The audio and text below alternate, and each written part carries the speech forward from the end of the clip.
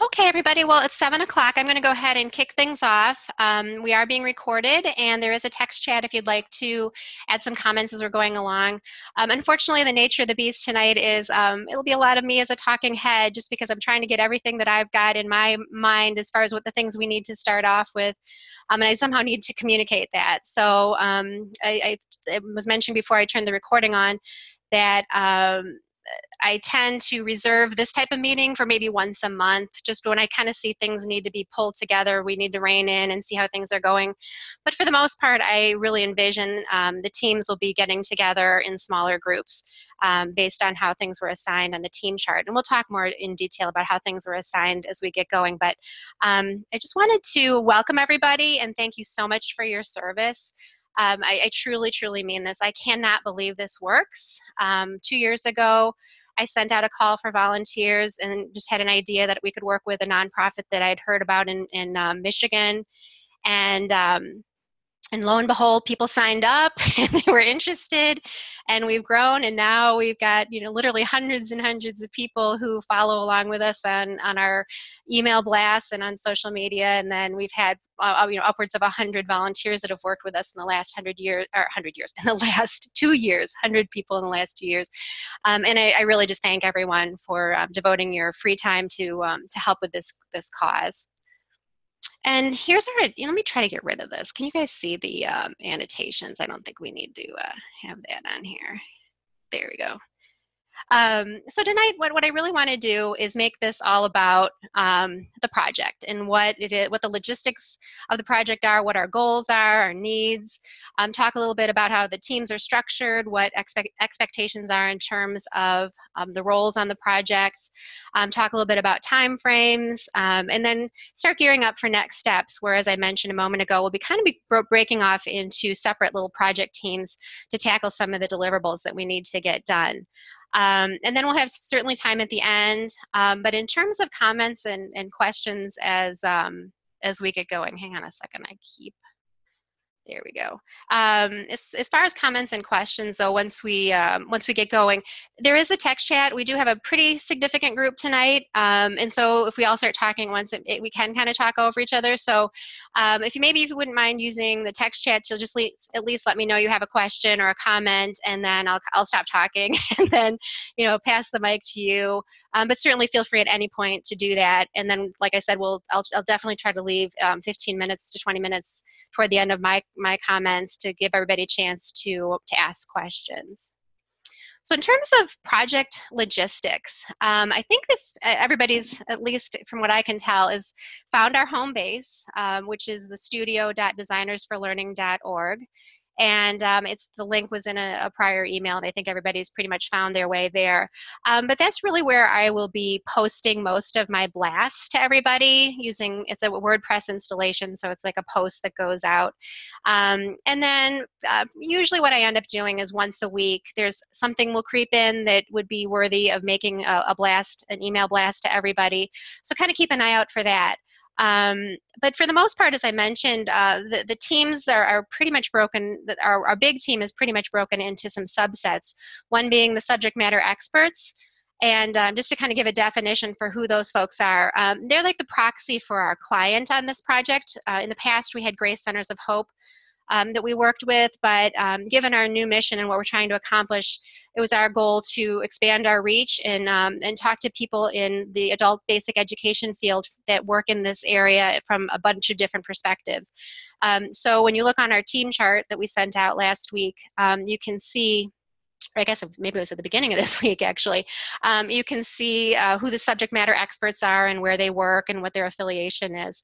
And then um, we have two design teams. When I sent out the call for volunteers, I was hoping to get a handful of people to help me. Instead, we had 31 people and of that 27 uh, wanted to be designers. And so i do apologize to the folks that um, are in facilitation roles that were maybe a little bit disappointed. They were hoping to be on a design role and we'll try our best to try to um, give you some exposure to the design side of things. Um, but frankly we just um, for this particular project we had more interest than we had positions. And so the two design teams we have um, i added one called the adult learning zone and we'll talk about that in a moment that's a new addition. That was something I thought I was going to have to do on my own. So I'm thrilled that we had uh, people to be able to help me. Um, and then the other is for the Adult Basic Education two-phase service course. So that's um, what I've described in, um, in several blasts as being phase one being the MOOC, which we at this point anticipate will be facilitated in Canvas.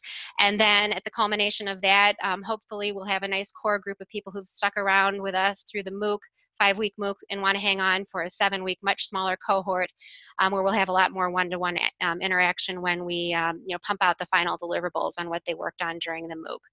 Um, and then the third group, we have facilitators, and um, I'm not sure if any of the facilitators are here tonight. Um, for the most part, the request for their participation really starts next next spring or late winter or early winter rather um, in February. And so um, they're very everyone who is a facilitator, you're more than welcome to lurk and follow along with what we're doing. But in terms of um, you know you stepping up and, and, and volunteering this fall, there's not not much for you to do at this point. So just kind of hang tight and, and we'll circle back with you. So here's what uh, I mentioned before is what I term our home base. Um, as I mentioned, it's an, a WordPress installation.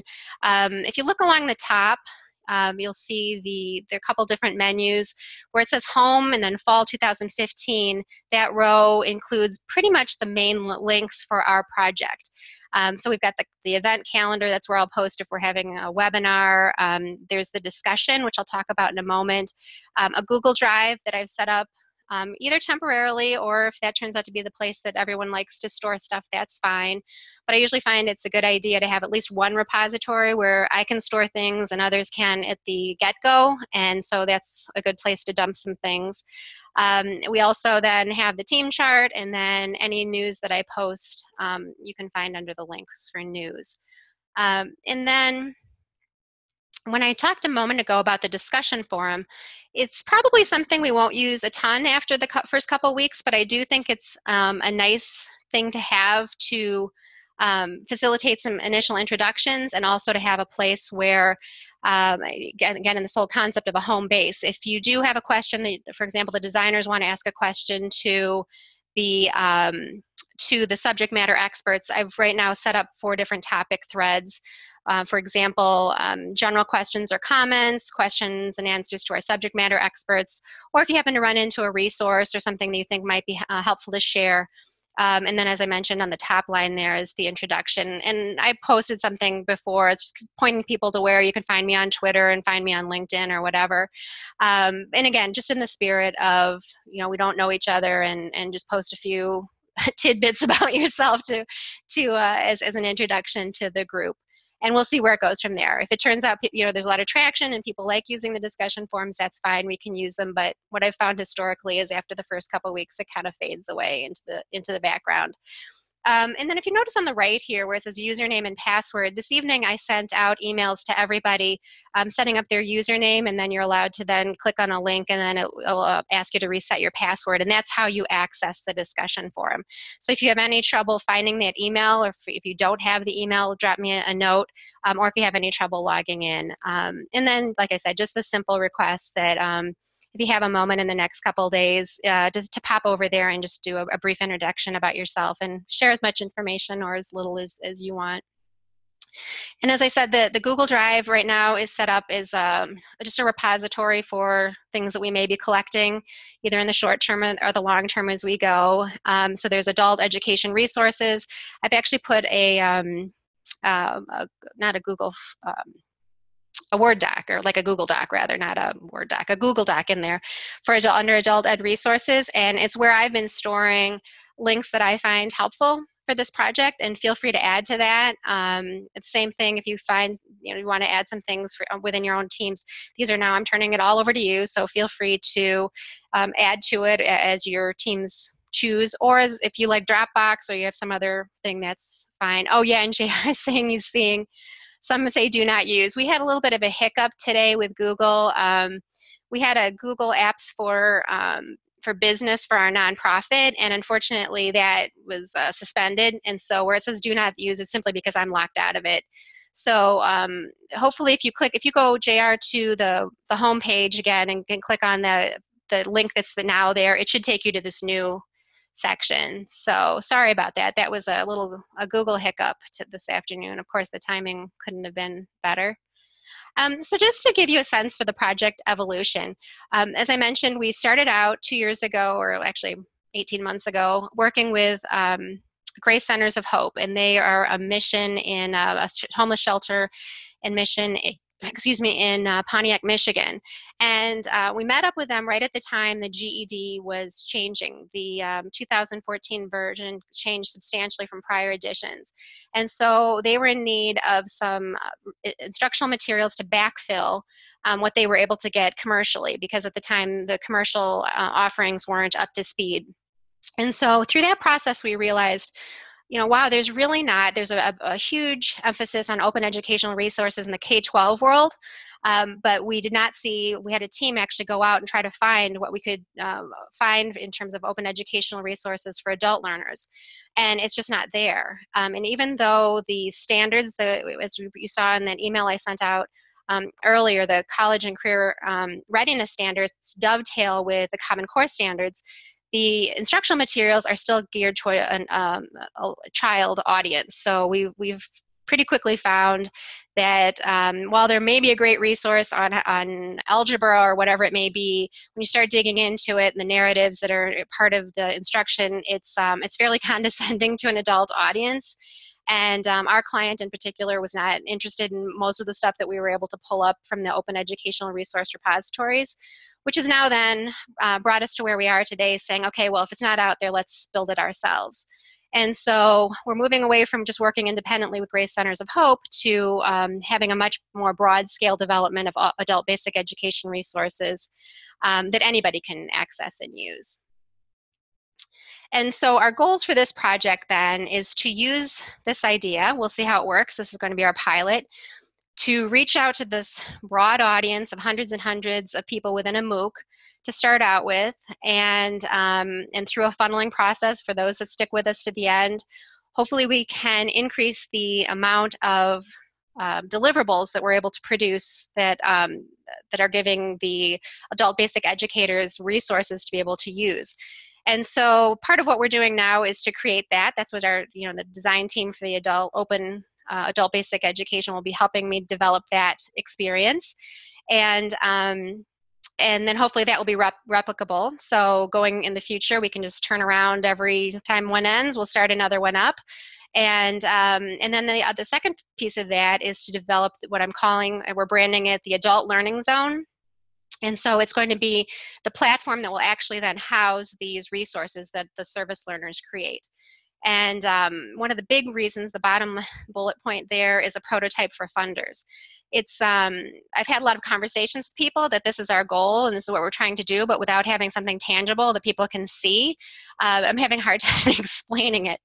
Um, so hopefully by the end of our first experience, come next spring, we're going to have uh, the the adult learning zone platform developed, and we'll have it populated with let's say 25 to 30 resources that our, our student participants have developed, and then we'll be able to go out and um, and seek external funding through grants or whatever it may be. And just to clarify, everything we've done to date is a 100% volunteer effort, and we've done everything with, um, with, with no outside funds. That's why we're using WordPress and other free things like Google Forms and things like that. Um, oh, uh, JR said he just lost audio. Can you guys hear me? Okay, good. I think maybe it's a JR thing. Okay. So here's what I'm talking about regarding the adult learning zone. Again, this is a link. If you go to our homepage, um, our home base, you can see there's a link that says Adult Learning Zone if you click on it. Now, this is very much a prototype. I threw this together very quickly when I realized I was going to have access to another design team um, I wanted to quickly get my ideas on paper or on virtual paper here on the website of what I'm talking about. And the idea is, um, as you'll see from the college and career readiness standards, um, things are, are, in silos for math and English language art, English language arts, and then if you uh, turn your focus a little bit over to the GED, there are also standards associated with science as well as social studies. And so those are kind of the four main categories uh, math, English language arts, science, and social studies that require resources. And so the idea would be a person would come to the site, click on English language arts, say I need something for grade level uh, 9 through 12. Um, I need something associated with, for example, paraphrasing and summarizing, could click on it, and then they would be taken to the deliverable page. And this is just a, a it, again very quickly thrown together my idea of what this page landing page would look like. So it would describe what the um, what the uh, lesson is about, um, map it to the particular standard, um, that being the CCR standard as well as the um, as the, the GED, um, and then have uh, a second tab for the materials, and then finally the attribution. Um, and Amanda's asking, let's see, I'm not sure if this is time to talk about this, but if you looked in the OER, yeah, the OER Commons is a repository, for sure we have. Um, and that's great. Actually, Amanda, did you have your um, do you have your audio? This might be a great time to introduce you and, and your role because uh, you're very much going to be our subject matter expert on the project. Um, do you have your audio handy?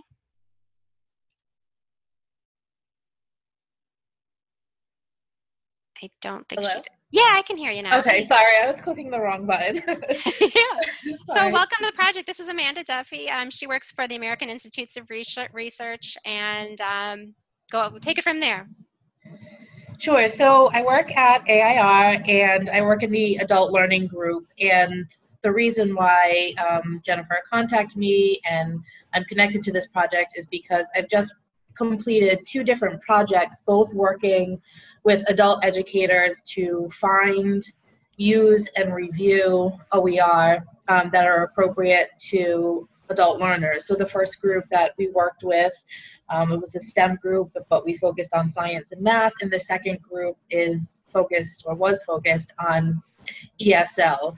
And I brought up OER Commons um, because that is the site that we use because they have an OER evaluation embedded within it.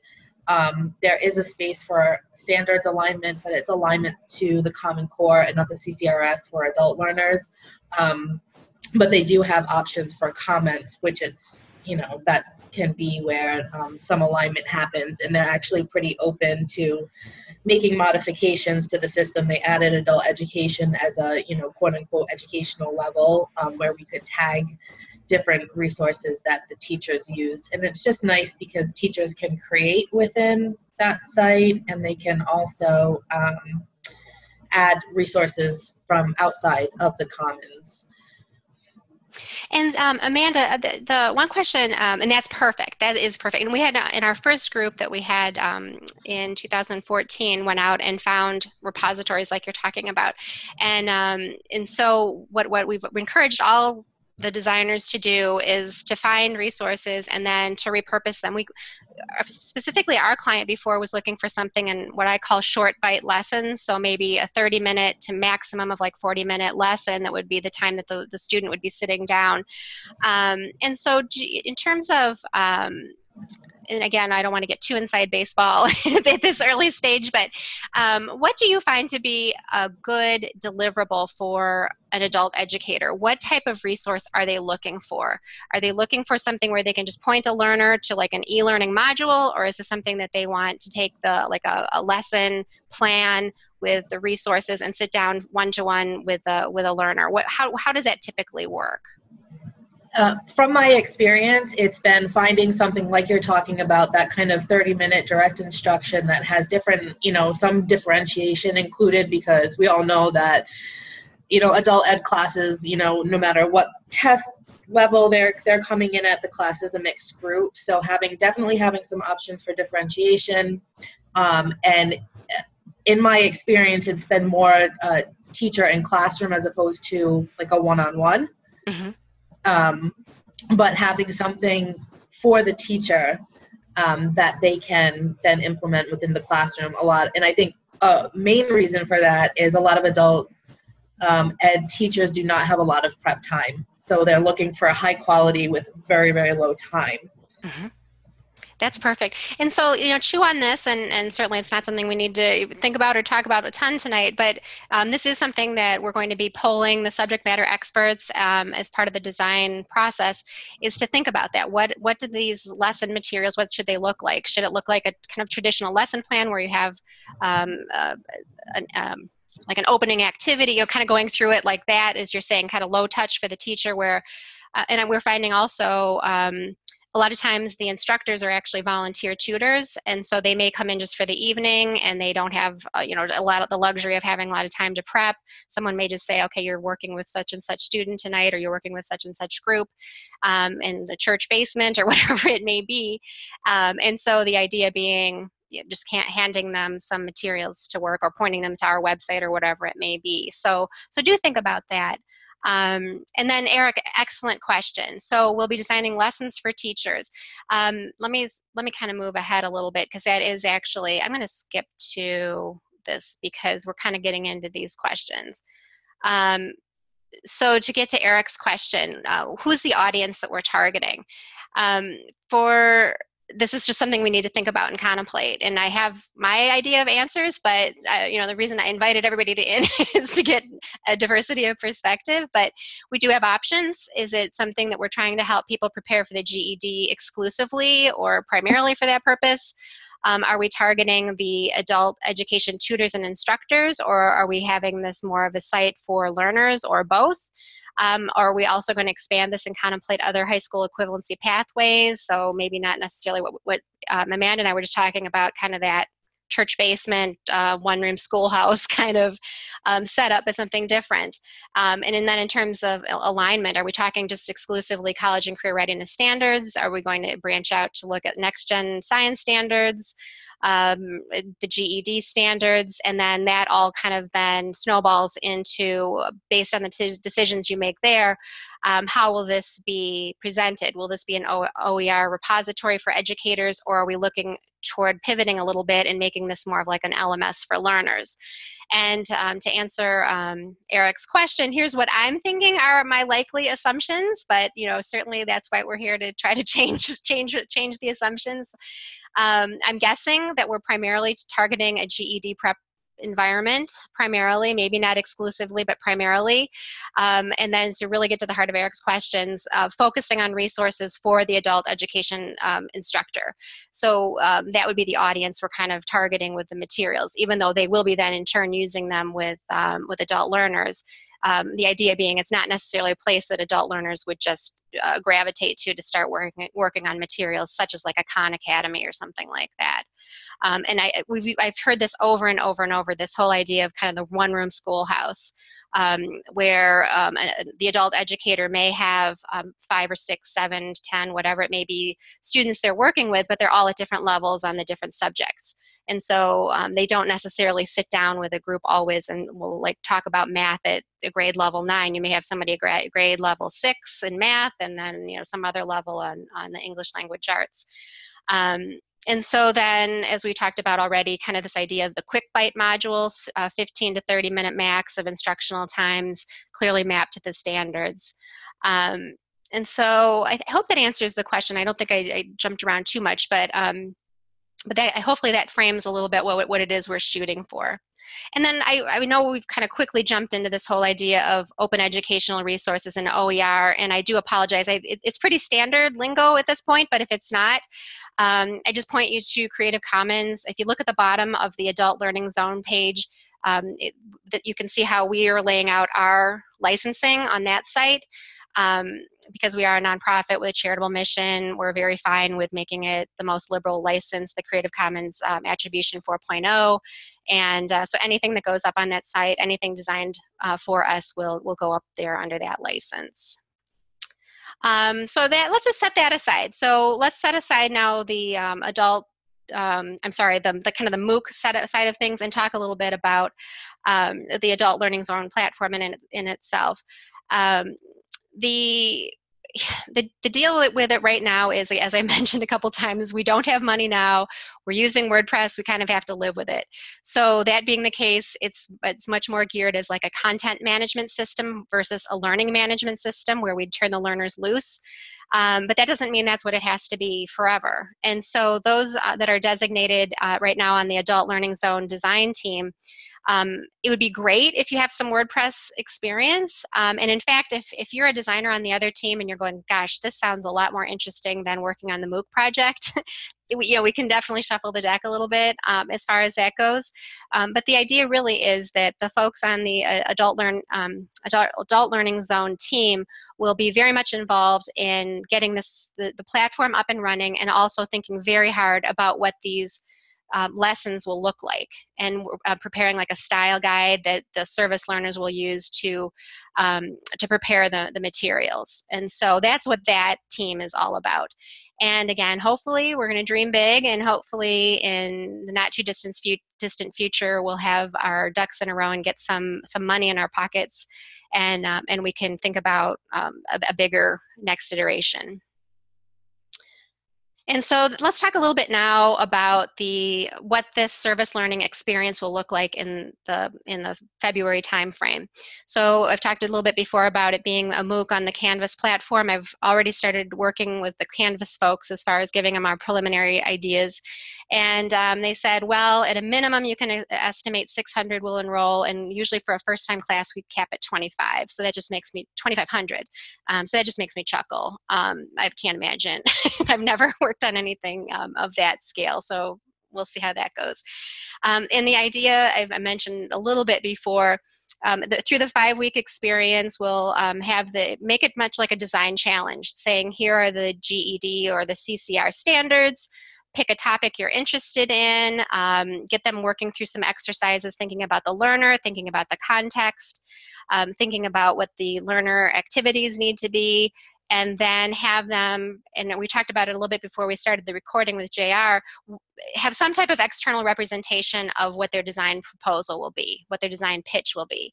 And, um, and that's, we're going to have to figure out um, what that looks like. But at the end of the five week MOOC, stu- whoever's left with us and stuck with us, there's huge, as everyone knows, um, attrition problems in MOOCs. And so let's say we end up going from 600, and at the end of the day, we've got 30 people that hung with us. Um, we'll take that group and then work with them more on a one-to-one basis for seven weeks um, much more hands-on where they develop a prototype the prototype goes through an evaluation process and then finally they turn in a deliverable. And that looks a lot m- more like what we've done historically um, with our service learning projects before. Um, so the open abe design team will be designing that.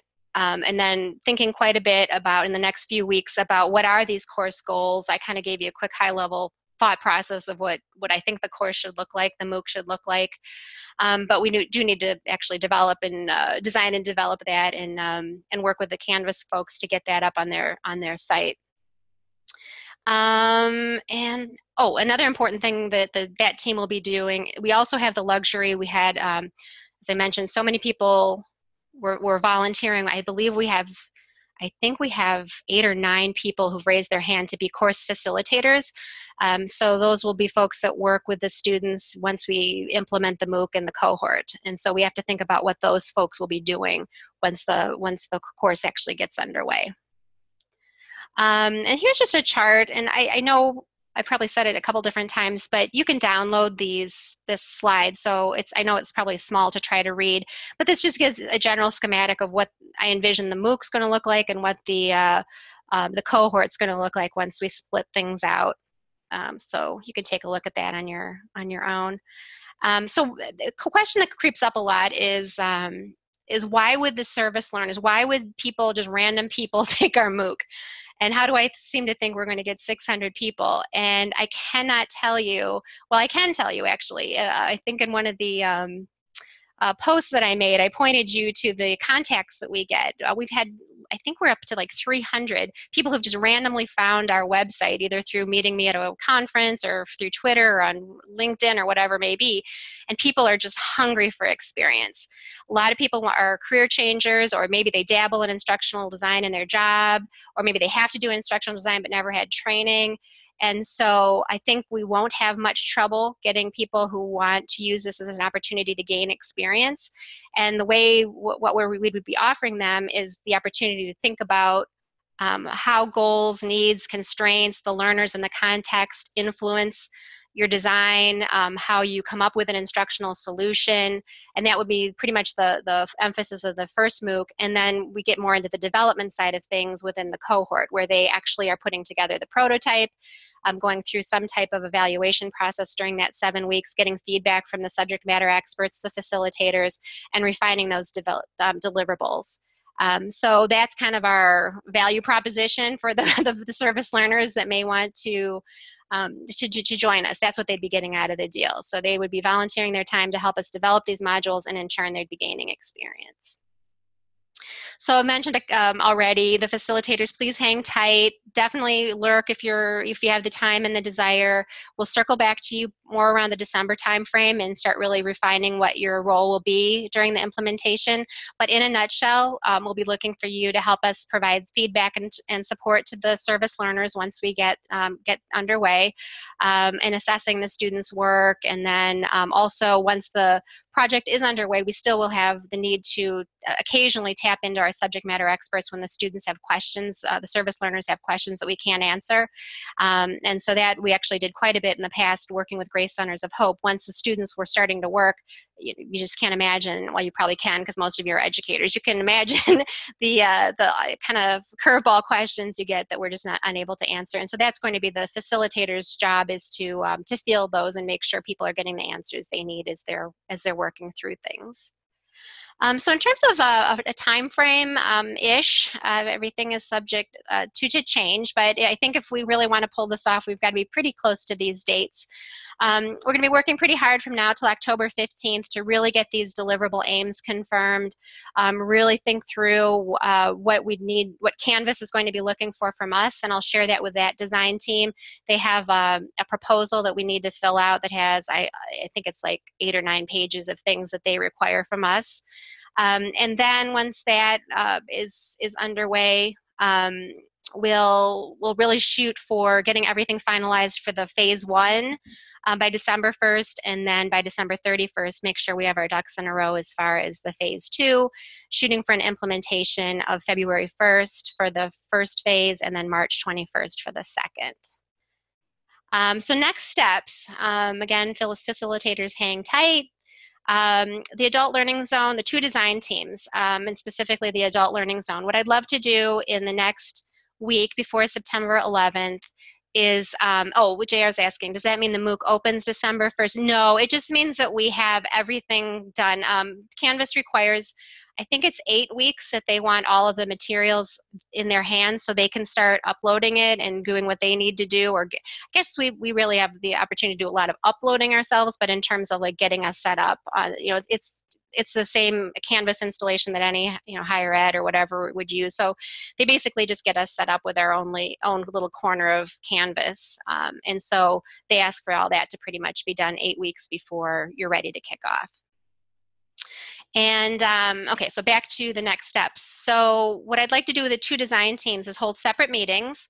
Um, so, so, small group meetings. And uh, I think what I'll do is maybe tomorrow, I don't know if everybody even has each other's emails, so I'll send out separate emails to each design team, um, trying to determine a good date sometime between now and September 11th to, um, st to start really framing what we need to do. And um, one of the first uh, orders or first things on our list is I've started to draft a survey for our subject matter experts to ask them some of the questions that we've brought up tonight.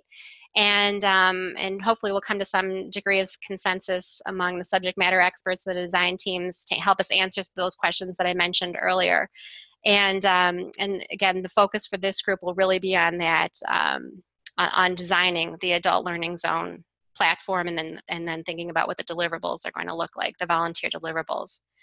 Um, and then pivoting over to the adult or I'm sorry, the uh, Open ABE group, same thing. Let's try to get uh, a meeting scheduled between now and September 11th.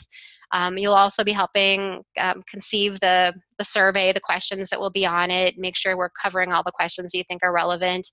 And then, um, again, your focus really at, the get go will be to try to think through what this MOOC is going to look like um, and kind of hand in hand contemplating the phase two, but really our, our first push is going to be thinking through what we need to do to design this MOOC.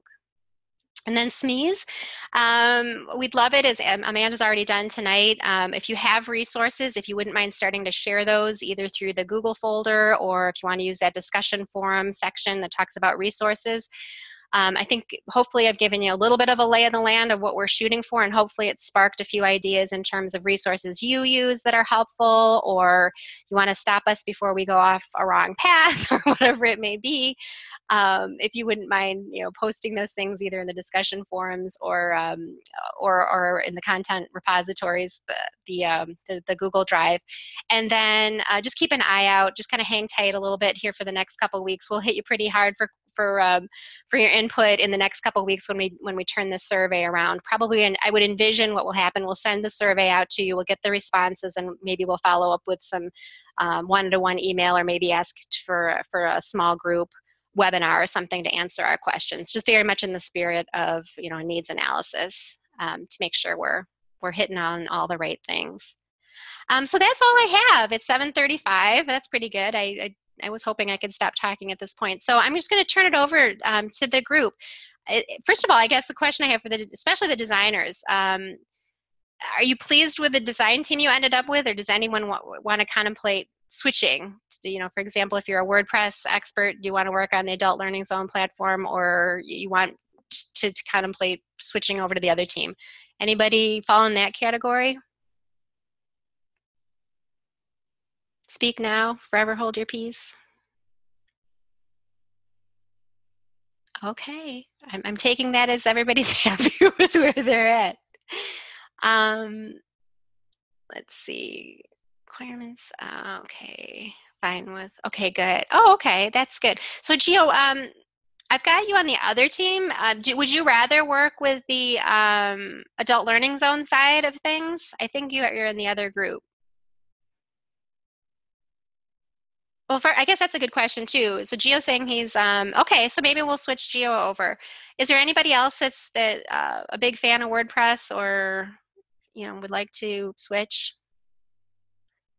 Okay, so Geo, I think I'll switch you. That and you know I'm sure you're dying laughing. Okay, just to give everybody a background, Geo's a let's see, you went to the Savannah. What is it? Um, School of Design or whatever. So I'm sure he's looking at my um, my handiwork on the adult learning zone and going, oh my gosh, yes, this woman needs help help on on her design. Yeah, there you go, Savannah College of Art and Design. Uh, that was not my background. Um, shockingly, I have my MBA, uh, which I think you can tell when you see my my design creations. It's uh, not particularly creative, um, but it gets the job done most of the time. So that's really all I had um, for tonight, and um, little asterisk. Oh, okay. Eric had a. Oh, yes. The little asterisk means you had also a few of you had um, requested or mentioned that you'd like to c- continue on and be a facilitator. And so, if you're still interested, Eric and I think it was Jr. and maybe Josh, I guess. Um, I can't remember off the top of my head, but that is what I think it is. That um, that's what that means. So if you're interested in continuing on and um, and being a facilitator, and there were a few of you that didn't want to do that. So, and I think Amanda did, or somebody had their hand up. Please go ahead if you want to say something.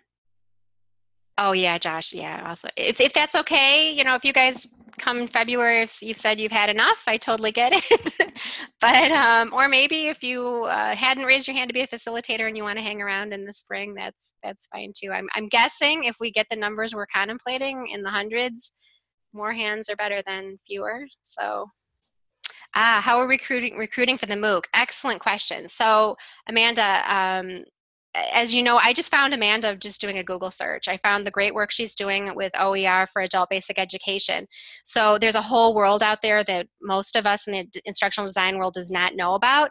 So we will definitely be asking our subject matter experts to help us. So we'll have kind of press release type things um, that we'll ask you to put out on your listservs and your groups that you work with, Twitter, it's it's kind of become like almost exponential how our how our word is getting out. It's kind of freaking me out because we we started out with you know a dozen people that were on our uh, um, e- email list, and and now I think at last count we were at 900. So it's kind of weird how fast this is happening.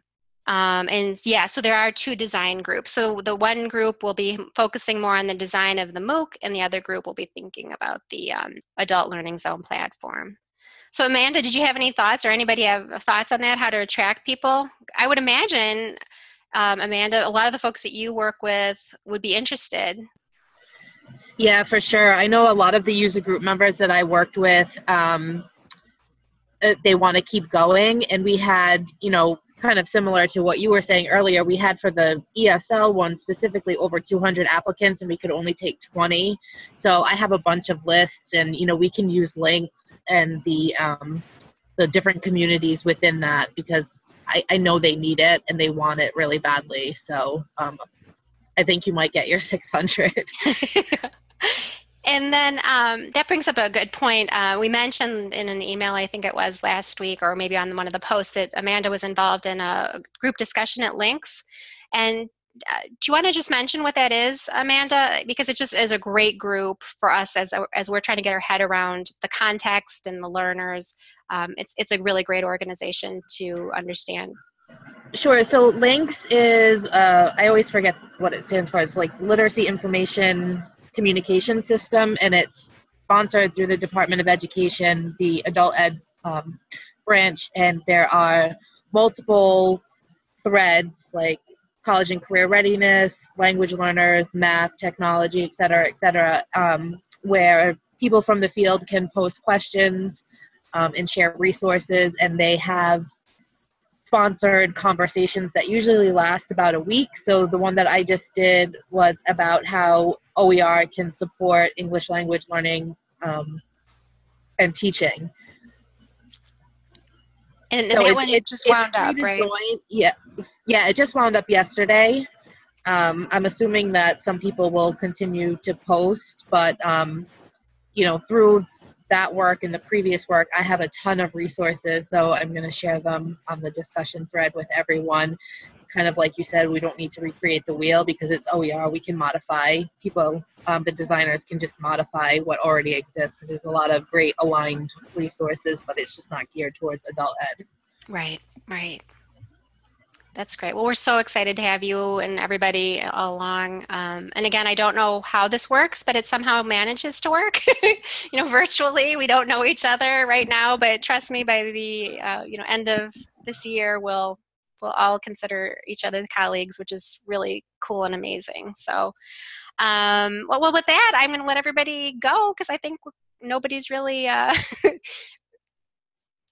has the courage at this point to uh, to raise their hand. So um, so I guess the next steps will be for the two design teams. I'll send out a, probably a doodle to each of you. Try to get a date on your calendar from now until the 11th. And then, as I said, the facilitators hang tight, subject matter experts hang tight for a while. And um, if you do get around to it, hop over to the our website and, and post an introduction so we can get to know you better. Well, thank you, everybody. I really appreciate it. Thank you. Good night.